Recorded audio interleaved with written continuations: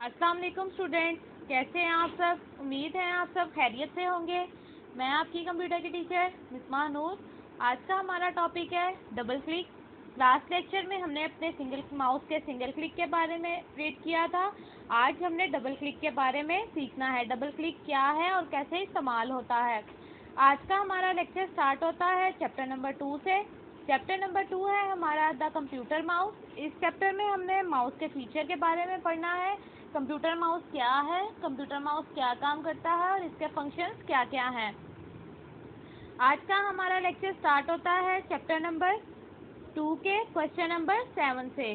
Question number seven है हमारा define double click double click define करें कि डबल क्लिक क्या है?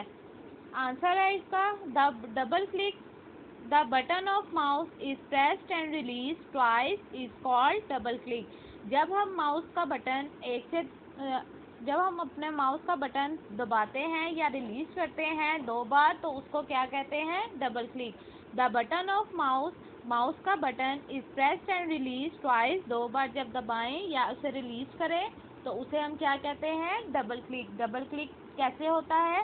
जब हम अपने माउस के बटन को दो बार क्लिक करते हैं या दो बार प्रेस करते हैं तो उसको क्या कहते हैं?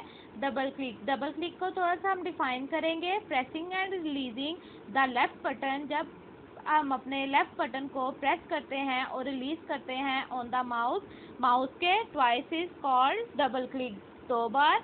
जब हम अपने माउस के लेफ़्ट बटन को दो बार क्लिक करते हैं या प्रेस करते हैं या रिलीज़ करते हैं, उसे हम डबल क्लिक कहते हैं। Double click we use our double click to open selected item हम डबल क्लिक किस लिए यूज़ करते हैं? सिलेक्टेड आइटम को ओपन करने के लिए।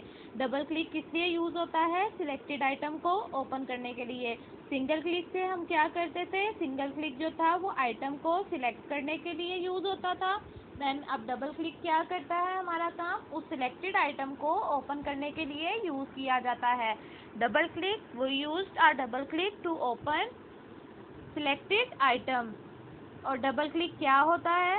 Pressing and releasing the left button जब हम अपने लेफ़्ट बटन को प्रेस करते हैं या रिलीज़ करते हैं ऑन द माउस माउस पे ट्वाइस दो बार इस कॉल्ड और डबल क्लिक उसे डबल क्लिक कहते हैं। तो स्टूडेंट इस लेक्चर को आपने दो से तीन बार अच्छी तरह सुनना है, इसको समझना है, कुछ समझ नहीं आती तो आपने ज़रूर पूछना है। इस लेक्चर के हवाले से कोई सवाल है तो सवाल भी करना है, आपके सवाल का जवाब ज़रूर दिया जाएगा। और स्टूडेंट्स इस लेक्चर के हवाले से आपको एक क्विज़ भी दिया जाएगा। उस क्विज़ की टाइमिंग अगले दिन सुबह नौ बजे की है आप वो क्विज तब तक सॉल्व नहीं कर पाएँगे जब तक आपने लेक्चर नहीं सुना होगा। तो सबसे पहले इस लेक्चर को सुने, इसको समझें और इस क्विज को लाजमी सॉल्व करें। इस क्विज की टाइमिंग अगले दिन सुबह नौ बजे की है। आपने भी क्विज लाजमी सॉल्व करना है। सबसे पहले आपने इसको देखना है, इसको समझना है और इसको अच्छे से सॉल्व करना है। Thank you